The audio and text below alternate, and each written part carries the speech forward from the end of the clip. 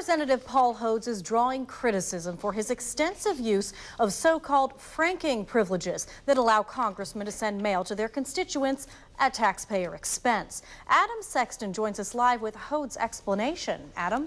Gene, Congressman Hodes says he just wants to keep people in his district informed, but Republicans argue his efforts are a waste of public funds.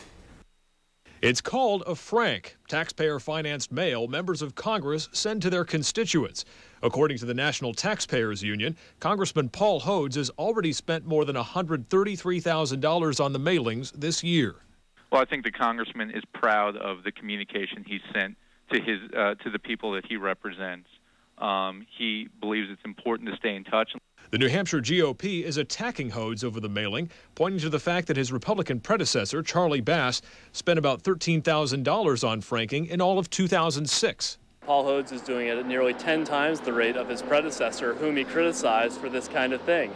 So he went to Washington to change it, but in fact, he so quickly adopted Washington's ways as his own. Republican Party Chairman Fergus Cullen also argues that the frank too closely resembles a campaign ad. At first glance, some have the same reaction. It looks like a campaign advertisement to me. But after Hodes constituent Brett Minahan reads beyond the front page, he changes his mind. It's information that people should have and know about. Others say the subject of the mailing, gas prices, is what makes them think it is campaign related. Covering the, the, uh, the situation that he's covering here. You know, it can't help but be because it's something we're all facing.